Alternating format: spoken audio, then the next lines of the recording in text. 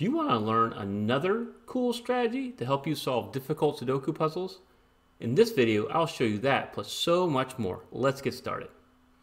Greetings friend, Timberlake here. I am continuing my month of Sudoku. This is tutorial day. I'm going to show you a super powerful solving strategy. How to spot and solve alternate inference chains type 2. I've not really talked about this one before. First though, I want to mention I'll be uploading a bonus video today. I'm going to solve a puzzle by Yoshi Baroshi. It's a special video, so you're getting two videos today. Be on the lookout for that one. Now, back to AIC Type 2s. Okay, this video won't make a lot of sense if you haven't seen my video on alternate inference chains Type 1, because this kind of builds upon the AIC Type 1. And if you don't understand the whole Christmas uh, lights looking thing I got going on here, go back, watch AIC Type 1 tutorial, and then come back here. All right, if you have seen that and you see me solve some of these more difficult puzzles, and you, but you want to go, okay, how do I do this AIC Type 2 thing? I'm ready to help. All right, so this is our first example, and this particular puzzle is uh, Par Varius by Bondye. A great puzzle. I really enjoyed it. Bondye's made many great puzzles for me. And so I went through and I did all the strong links, uh, recreated what I had in the puzzle at, at um, kind of the midpoint of the video here. And so, like you see these ones, that means there's a strong link between these ones in this row. Happens to be in this block as well. Like these threes have a strong link in the block. This two has a strong link in that row. Understand? Okay, so we're looking for an alternate inference chain type 2. So what is the difference? Well, the difference is um, that you're not you're, you're not going to start and end with the same candidate. You're actually going to uh, start in one cell and with a candidate, and you'll end in a different cell in the same house. So going to be in the, you'll end in the same row or column or block as the start cell, but with a different candidate. All right, you are. It's still going to be a series of strong weak links. It's still something that you need to show all the candidates.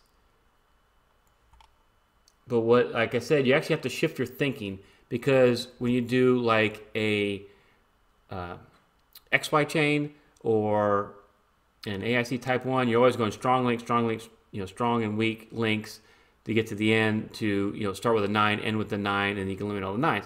Not the case here, all right? So let's go and I'll show you the AIC type two and kind of show you why it works. So we start here in this cell, and I found this during the actual solve, right? And so what you do is you go, okay, this 7 has a strong link to this 7 right here. So strong is 7, weak to this 2, strong to this 2, uh, weak to this 3, strong to this 3, weak to this 8, strong to that 8. Okay, so we started in this 7, and we ended here with this 8. And I'll just make that purple. What is it telling you? One, like you notice, I start with a 7 and with an 8. Two, it's in the same house, so it's the same column. What it tells you is you're going, okay, if this was a 7, then this right here couldn't be a 7. And if it's not a 7, then what you would have is an 8 right here which means that this cell would not be a 7 in either case. So now you flip it and you look at the 8, and these things go forward and reverse. So just how I went from 7 all the way to this 8, I could go backward. I could go strong to this 8, weak to the 3, strong to the 3, weak to the 2, strong to the 2, weak to the 7, strong to 7. Works forwards and backwards this 8 is either right here, and so this couldn't be an 8, or this is not an 8. If that's not an 8, we just went through this whole chain and said, okay, if this 8's false, then this cell would be a 7. And so what you can do is you can eliminate the start candidate from the end cell, and you can eliminate the end candidate from the start cell. And that's why. I had a hard time kind of grasping this. But the reason being is, you know, this is either an 8 and that can't be, or if it's not an 8, this cell is something else. Once you start to find these, it makes for really cool solves because they're kind of you'll you'll see them and it'll be a little bit quicker to go. You just have to switch your thinking a little bit about oh I'm going to end in a uh, with a candidate that's not the one I started with. Hopefully that made some sense to you. All right, now that I did that, I actually want to mention something else about this puzzle. It's been bugging me ever since I first showed it on my channel, and something Bondye pointed out to me. Uh, do you notice anything unique, cool about these end corner uh, cells? You probably notice there's a 1-4 here, 3-4 there, 2-3 here, and a 2-1 there, and they're all colored, right? Well, this forms a continuous loop. And the way Bondye designed the puzzle, and you think about it, that if a 4 is not here, it has to be here, right? If this isn't a 4, it's got to be a 3 because either three's here or it's there. And this isn't a 3, it's got to be a 2 because if a 2 is here or here, if this isn't 2, it's a 1. Because of these limitations of these strong links, basically these four candidates, 1, 2, and 4, are limited to those four cells. So what you could, what I could have done and what I missed in my original solve is I could have eliminated all these extra candidates because it can't it can't be any of those extra candidates for the reason I just described. It's got to be one, two, three, or four in these four cells. And by doing that, you would have been able to solve. I would have been able to solve that for a nine. And once you solve this for a nine, um, you can move a lot quicker to solve this puzzle. But I wanted to show that, and I even made a comment about it after I solved the puzzle. Uh, great, tremendous. Let's move on to our next example. All right, for our next example, this puzzle is Long Distance Relationship by RSP. And all these uh, original solves I'll put in link below. I'll also put a link, if you want to solve the puzzles, you want to try them yourself, uh, maybe you find a different way of solving that'd be great. And so we're going to start right here in the original solve. And what I had noticed was a alternate inference chain type 2. And so we start here with the 7 and go 7 has a strong to the 7, weak to the 6, strong to this 6, weak to the 9, strong to this 9, weak to this 3, strong to that 3, weak to the 5, strong to that 5, weak to the 2, strong to this 2, weak to the 4, strong to this 4 right here. And so what that means is we're looking, hey, is this a 7? Okay, if that's a 7, this can't be a 7. But if it's not a 7, this cell's a 4. So it still can't be a 7. Eliminate the 7 right there. Um, and also you can look at, you know, is this a 4? Then this there'd be no 4 right here. If it's not a 4, you know, then this cell will be something different. Uh, what you notice in my first two examples is you weren't able to eliminate one of the candidates from the start cell. That happens. You can eliminate one candidate or you can eliminate both, one from the start and one from the end.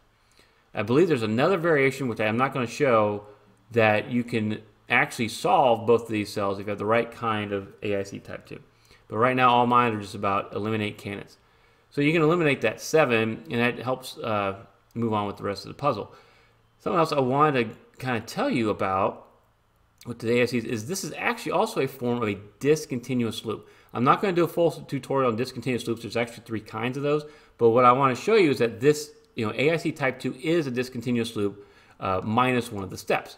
So, and it's the discontinuous, it's like the type 1. So again, if you look here, strong, weak, strong, weak, strong, weak, strong, weak, strong, weak, strong, weak, strong. What the discontinuous loop does is it adds in two of the same type. So it adds in two weak links or two strong links to an otherwise normal uh, continuous loop. So it'd be a weak to that seven, weak to this seven, and go. And by the rules of discontinuous loop, since uh, if you attack, you know, either you start with the seven or you start with the four, yeah, this would never be able to be a seven because of the weak weak situation. So you can still eliminate that seven from right there. But just imagine there's actually a weak link to the seven, a weak link to that seven, then you go back to strong.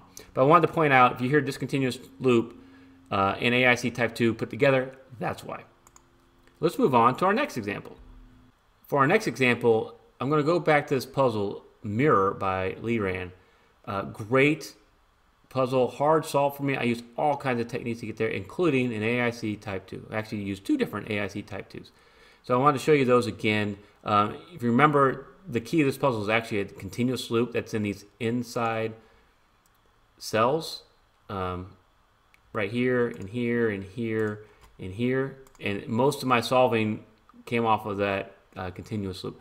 So let's go here and I'll show you, uh, there's actually two different AIC type 2s you can solve involving this cell right here. So, So you start with this one right here. You're going to go strong to this one, weak to the 8. Strong to the 8, weak to the 3, strong to the 3. And we end in this cell right here. And realize this 3 and this 3 are not strongly linked to each other. Uh, you'll see there's there's 3's in the middle. These, these, these 3's are strongly linked along the column, right? But what it tells you is that this is a 1, that can't be a 1. If it's not a 1, this cell's a 3, so we can still eliminate that 1 right there. Conversely, if we had a 3 here in this cell, we could eliminate that uh, 3 right there, but we don't in this particular case. Now, there is another AIC type 2 you can solve starting with this cell.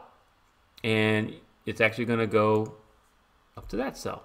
So I wonder if you can see it. It's a pretty quick one. Okay, here you go. Strong, weak to the 8, strong to this 8.